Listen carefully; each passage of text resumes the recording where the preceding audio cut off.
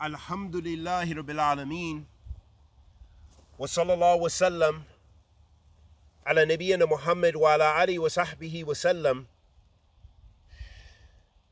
Amma ba'da habati fillah It was mentioned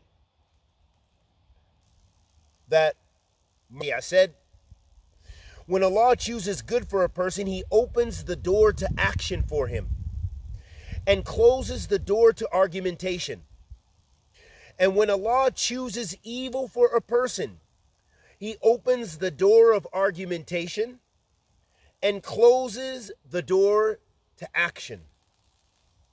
This is a statement collected by Al Khatib al Baghdadi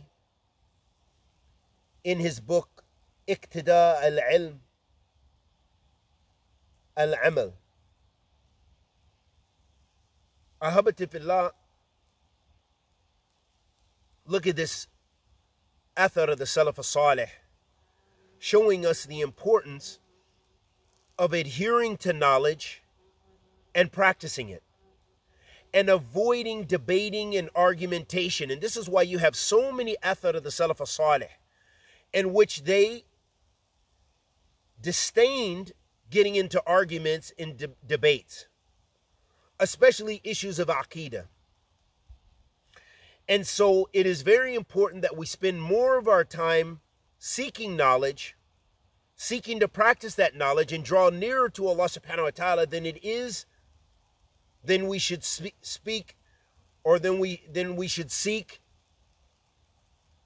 uh, having arguments and debates with the people.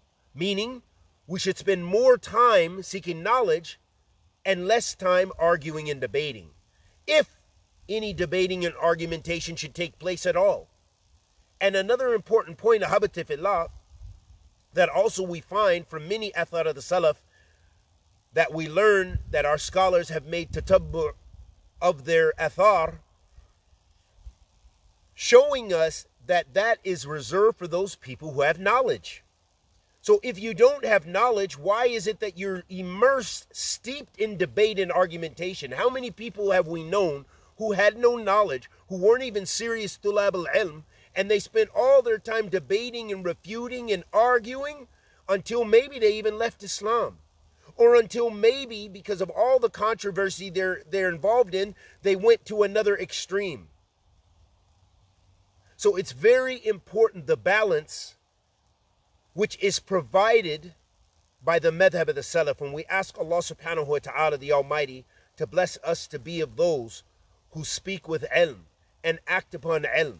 And may Allah subhanahu wa ta'ala forgive us of our many sins and shortcomings.